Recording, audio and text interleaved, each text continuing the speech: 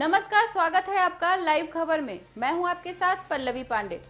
अवैध कटान और कब्जे को लेकर हमेशा सुर्खियों में रहे चर्चित पिपली वन का अब एक नया मामला सामने आया है, जहाँ तैनात एक दरोगा का शराब पीकर गाली गलौज करने का वीडियो वायरल हुआ है, जिसमें डीएफओ ने बड़ी कार्रवाई करते हुए वन दरोगा को निलंबित कर दिया है। डीएफओ ए के कश्यप ने बताया कि उच्च अधिकारियों के कहने पर वन दरोगा को निलंबित कर दिया गया है साथ ही वायरल वीडियो की भी जाँच की जा रही है।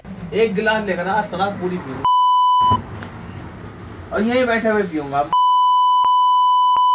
मैं सस्पेंड होना चाहता हूँ। मैं मेरी मुझे यहाँ नौकरी नहीं करनी है। और मैं इसकी नेम की अभी फ़ोन कर